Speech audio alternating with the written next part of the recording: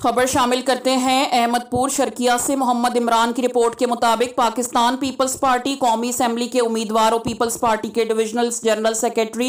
Makhdoom Syed Ali Hasan Gilani, उम्मीदवार सूबाई ticket holder Aamir Ali Shah के हमरा, अहमदपुर शर्किया में इलेक्शन के सिलसिले में मुख्तलिफ़ लोगों से मुलाकात में सबक सिटी नाजिम एजाज खान, बलोच अली रजा काजमी, हकीम हसनैन चौहान, मलिक कजाफी सबक कौंसलर मलिक रशीद बिजनेसमैन चौधरी खालिद जावेद सैयद चौधरी मोहम्मद जमील, सबक कौंसलर हाफिज शहजाद, सबक कौंसलर शेख ज़फ़र ताज, सबक चेयरमैन मलिक राशिद नाइज सबक कौंसलर शेख कासिम मलिक खैर मोहम्मद से मुलाकात हुई। मुलाकात में मुख्तलिफ़ बरदरीों के अफराद ने मखदूम सैयद अली हसन गिलानी की हमायत का ऐलान किया और कहा कि हम पाकिस्तान पीपल्स पार्टी के उम्मीदवार मखदूम सैयद अली हसन गिलानी के साथ खड़े हैं। इन इनकी कामयाबी यकीनी है, मखदूम अली हसन गिलानी का हुसन अखलाक अखलाक और मिलनसारी हमारे लिए बहुत बड़े सरमाए की हैसियत रखती है। अली हसन गिलानी ने हमेशा ही गरीब आवाम की तर्जुमानी की है और जब लोगों को पता चलता है कि मखदूम सैयद अली हसन गिलानी अहमदपुर शर्किया के सियासी दौरे पर आ रहा है